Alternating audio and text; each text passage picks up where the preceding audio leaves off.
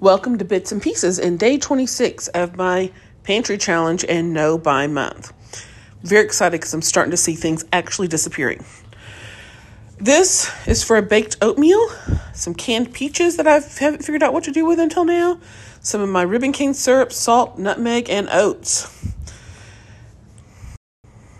I just did about three cups of oats, the can of peaches, liquid and all a nutmeg and about two tablespoons of ribbon cane syrup, and then enough water to really have it look moist. Put it into a greased pan and stuck it in the fridge overnight. Next morning, I baked it at 350 for about 25 minutes, and it was a perfect breakfast. It wasn't super sweet. If you really want it sweeter, you can add more syrup or even drizzle some pancake syrup on top. Lunch was leftover um, chili again. This is the end of the chili and the end of the saltines. For dinner, I finally used up the last of that heavy cream I'd mixed up from the powder.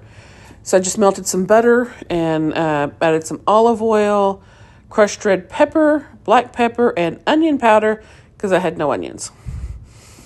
And after it cooked down a little bit, I added some fresh garlic. I think I did about three cloves of it and sauteed it a little bit.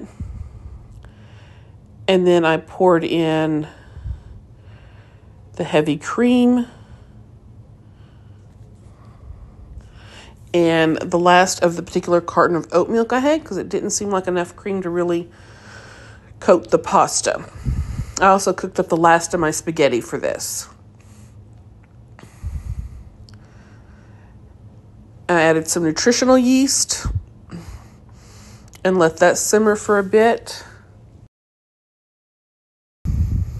After the spaghetti was finished cooking in the salt water, I just scooped it uh, into the cream that had been simmering and then tossed it around and added a little bit of the pasta water until the pasta had finished cooking, as I'd only cooked it like eight minutes prior to this.